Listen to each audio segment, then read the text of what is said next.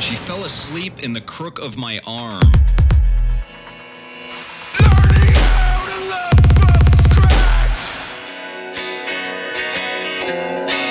And I watched her little fist.